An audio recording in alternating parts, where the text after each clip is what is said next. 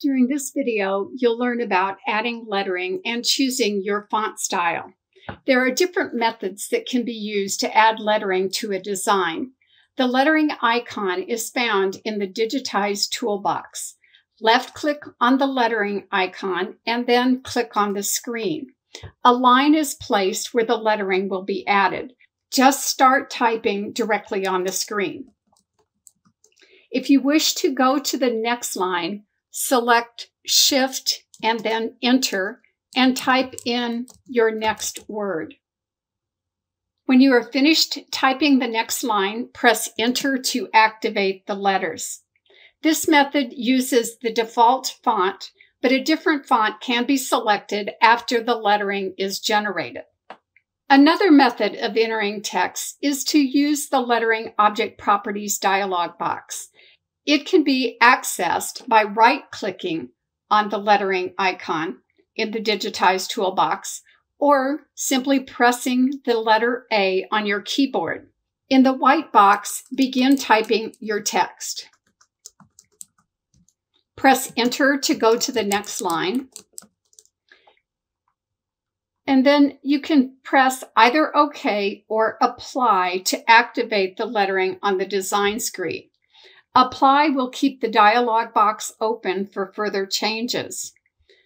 An advantage of using this method for generating lettering is that you can pre-select the font, the size, the justification, and the baseline of the lettering. A preview of your typed letters or words will appear with each font when you click on the drop-down arrow.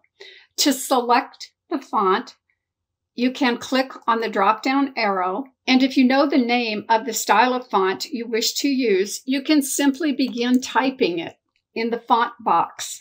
Press enter to select that font and then press apply.